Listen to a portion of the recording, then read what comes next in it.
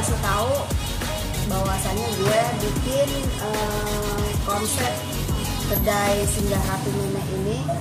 Memang konsep dari gue desain dari gue akan tetapi yang melakukan semuanya wall art segala macem ini laki gue Dayan Bagai yang peran penting dalam di sini pun banyak sekali yang support gue di sini kenapa gue bikin seperti ini konsep gue sebenarnya sih ini bukan kafe. Ini kayak warteg aja tapi warteg kekinian. Yang isinya pun bukan makanan-makanan kafe. Yang ada cuma soto babat soto ayam tongseng yang segala macem lah yang makanan rumahan aja.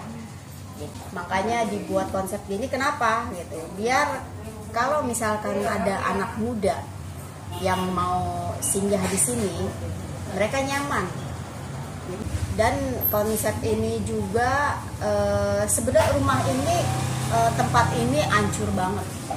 Hampir 80% hancur makanya kita rombaknya juga agak lama ya. Dua minggu kita baru berdiri ini.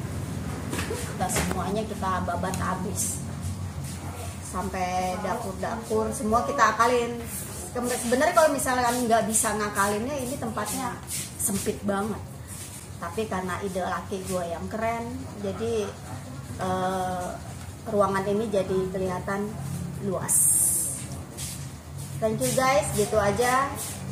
Eh, semoga kalian bisa singgah di sini di kedai Singgah Ratu Mene yang ada di Depok gue tunggu buat anak Vespa, buat anak Majesty, dan Scoopy, dan semuanya. See you.